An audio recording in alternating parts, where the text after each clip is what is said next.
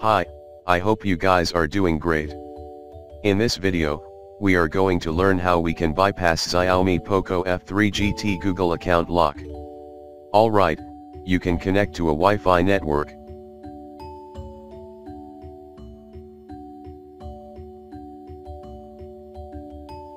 Enable the talkback, to do that press and hold the volume up and the volume down keys.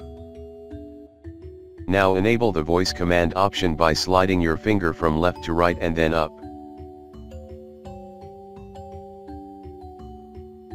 Now, speak the command as Google Assistant using your voice and the Google Assistant should pop up, tap on the keyboard icon. Now you can turn off the talkback. Type open and as you type you would see YouTube. Open the YouTube app and go to Settings, History, and Privacy. Now tap on the YouTube Terms of Service link. Search VNROM and open the first link. Now open the Settings app and go to Additional Settings.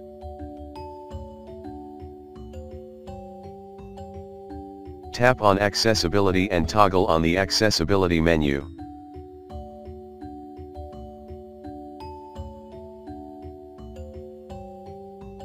Now go back and tap on Google.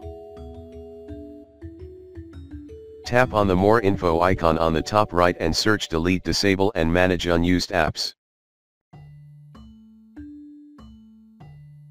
Now go to Application Settings. Force stop the Android Setup Wizard.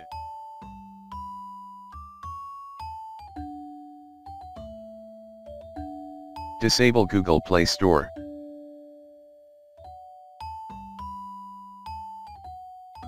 Go to Google Play Services and disable it. Make sure it has been disabled. Now, force stop the app and go back to the main setup.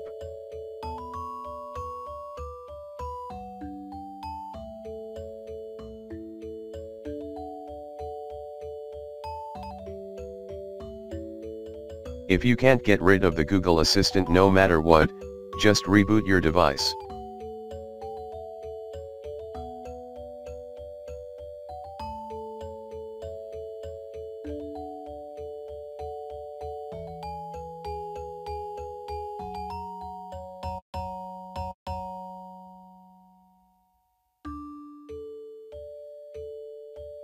Okay, it didn't work.